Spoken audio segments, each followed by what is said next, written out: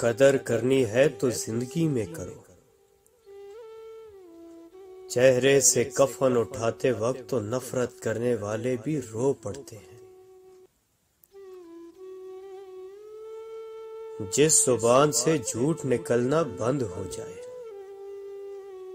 उस ज़ुबान से निकली हुई दुआ रद्द नहीं होती।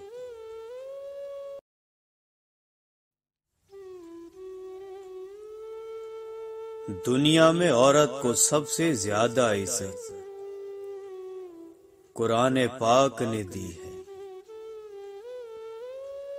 औरत को इज़्ज़त की निगाह से देखा करो।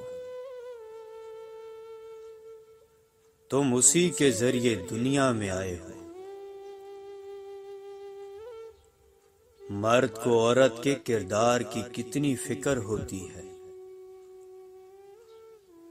इतनी फ़िक्र अगर अपने किरदार की करे तो कितनी औरतें बद किरदार कहलाने से बच जाए। ये सच है कि औरत में दर्द सहने की आदत है।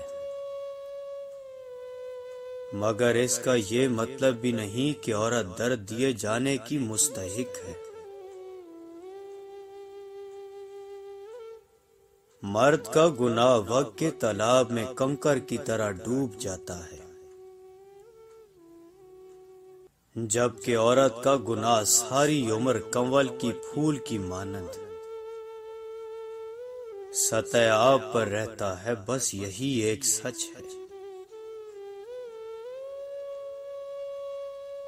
औरत के लिए ज़रूरी है कि गुनाह करने से पहले वो अपने आप पे तरस ज़रूर खाए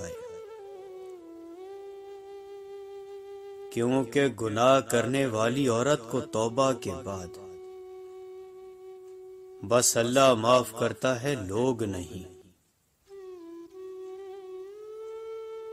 औरत की इज़्ज़त